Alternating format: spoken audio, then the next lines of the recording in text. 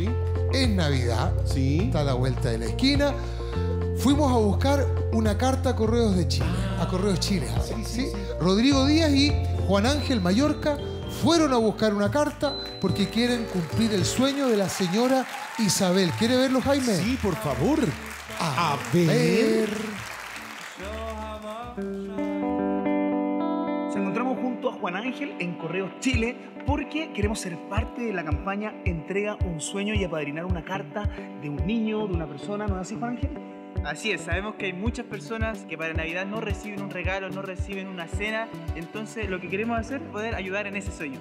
Vamos, vamos. Mira, aquí hay una carta de una señora que se llama Isabel, tiene 76 años y viene de... De la Pintana. Lo que me llama la atención es que dice que se siente muy solita, que quiere una cena de Navidad y un equipo de música para no sentirse tan sola. Oh, qué brillo. Qué, qué- qué fuerte. Sí, sí. ¿Te parece que la vayamos a ver? ¿Podemos padrinar esta carta o no? Sí. Ok, señora Isabel, vamos por usted. Llegando aquí a la casa de la señora Isabel. Sí, pues vamos a suspenderla porque hemos elegido la carta de ella en Correo Chile para poder cumplir su sueño. Así que vengan a conocerla. Vamos a tocar. ¡Aló! Señora Isabel.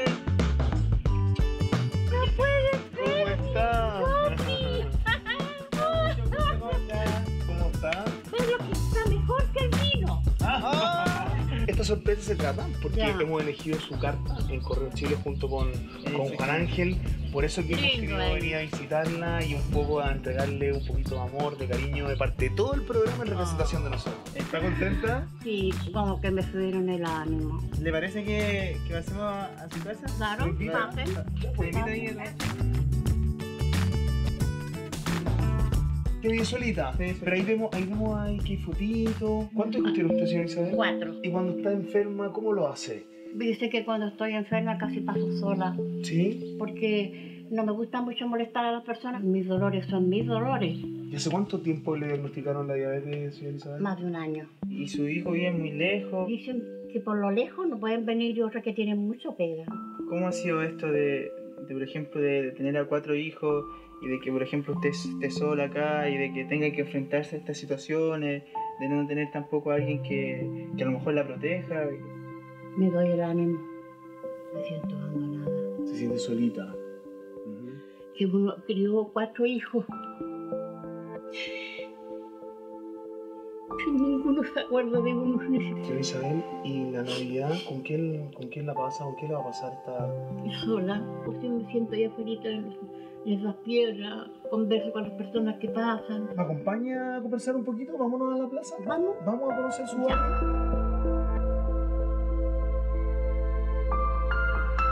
Bueno, yo me voy a quedar aquí, en la casa de la señora Isabel, porque le voy a preparar una sorpresa, así es que mientras ellos van a conversar, yo acá voy a preparar todo. ¿Hace cuántos años que vive en este barrio, en esta plaza, frente a esta plaza? eh, con más de 30. Yo, por lo menos, lo que, lo que tengo ahí en mi casita lo hice a pulso. Usted me dijo que vendía papas fritas, pero además las papas fritas las hace en un tambor que es muy particular porque es un tambor que usted adoptó. Sí, era una lavadora antigua, de esas redondas. Y la mandé a arreglar, me, me ha ¿Y durado, funciona perfecto? me ha durado un montón mi lavadora. Sí, la lavadora multiuso. eso. tengo que pelar mis papas, 15, 20 kilos de papas. Oiga, ¿y esas papas fritas las vende ahí en su casa? Aquí afuera me gano. Afuerita. ¿Y qué más hace aparte de las papas fritas? Salgo a hacer aseo a personas que necesitan, que son de más edad que yo.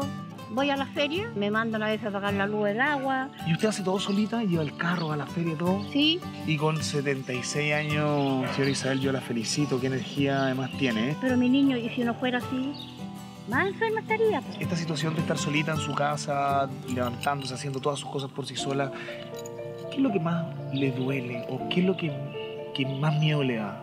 La soledad. La soledad. Hay que llegar el otro día y volver a estar sola. Cuando llegamos a esta edad, hay muchas cosas mm, eh, que nos decaen, sobre todo ahora que va a venir la, la fiesta.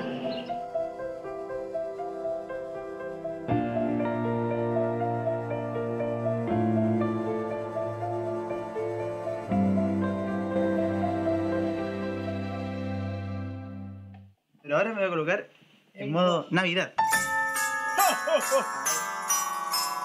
Me fijé que no tenía arbolito, así que ya la bajé esto, tengo menos avanzado ya. Y vale harta pega. Pero mira, mira, igual tengo. Ahí, Se ve bonito, mira. Tenemos el regalito acá, así es que lo voy a dejar por aquí mientras. Pero falta toda la cuestión para comer, pues. Ahí no cacho nada mucho yo. Voy a buscar a la señora Norma, que es muy especial para la señora Isabel, que le ha ayudado todo este tiempo, así que acompáñeme a buscarla y que me ayude a preparar todas las cosas que faltan. Me decía que tenía dos muy buenas amigas, ¿verdad? Sí, Háblame un poquito de ellas, cómo llenan su corazón, cómo llenan su vida esas personas. eh, eh, como se dice, es mi paño de lágrimas. Ella me cuenta sus cosas y yo las mías. Porque ella antes de entrar se dice, vecina, y me mueve ahí el portón. ¿Está aquí o salió? Sí, sí estoy, ya. Cualquier cosa me llama. Entonces yo cuando la necesito, pesco una piedrecita y se la tiro arriba del techo. Y ella ya sabe que yo la necesito. Esa es la manera de comunicarse con una piedrecita. Sí. Es especial su amiga para usted. Mira, a mí me ha sacado de dar todo, de dar todo apuro. ¡Aló! ¡Aló! Señora Norma, ¿cómo está? Me gusta saludarla. Sabe que le estamos preparando una sorpresa señora Isabel. ¿Puede ayudar usted, por favor? ¿Sí? ¿Ah? Sí, pues, Ya. sí, sí, pues. ¿Y cuál sería su sueño más anhelado, su sueño más grande para este año, para esta Navidad? Lo que le pedí al viejito Pascuero, que te lo pedí así llorando, pues se puede decir, que me regale un, aunque sea un, un Un mini componente, Claro, una que yo- radio. que yo lo enchufe y, y ponga mi radio favorita y escuche mis tangos, mis boleros, y ahí bailo y le pongo color y así, una cosa así. Y se me va a la mañana. Mi compañía es la tele Y el programa y el programa. rojo, porque nos ve todos los días. Usted se siente identificada con esa Sí. historia. Y hoy día es la protagonista de nuestra historia. Oiga, señora Sí. Isabel, y ahora que estamos acá, ¿qué le parece la sorpresa? Eh, esto no voy a olvidar, requete nunca.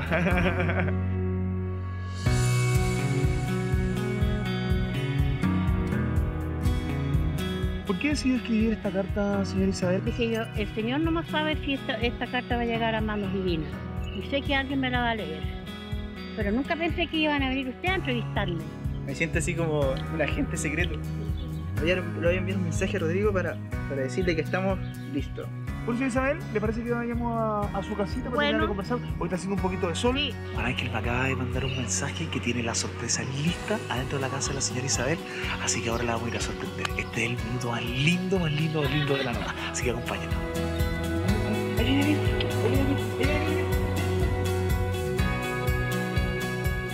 Nos disfrazamos de. Eh, eh, eh, eh, eh, eh, eh, eh. eh, eh, eh. Tenemos una sorpresa. Ah, no. Se. Hermoso cariño, hermoso cariño,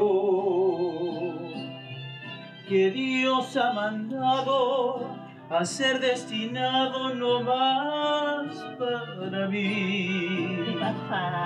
No puedo evitarlo y quiero gritarlo. Hermoso cariño que Dios ha mandado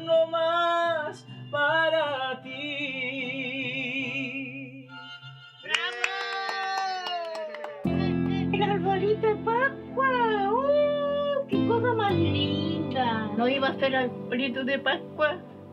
Ya lo entiendes, pues. ¿Estás contenta, señora Isabel? Lloro de contenta, lloro. Porque me han venido a ver personas que ni en sueño. Entonces para mí esto me dan un año más de vida. Muchas gracias por todo, muchas gracias. En estos momentos para ustedes son una familia más para mí, ya no voy a estar tan sola esta Pascua. Y bueno, nosotros le traíamos aparte de todo esto un regalito y está aquí para usted. Gracias.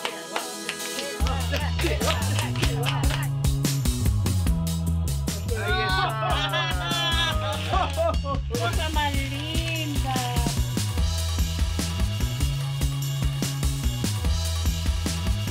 Y con este maravilloso momento y con estos hermosos regalos cerramos esta nota de Navidad y les decimos a todos ¡Feliz Navidad!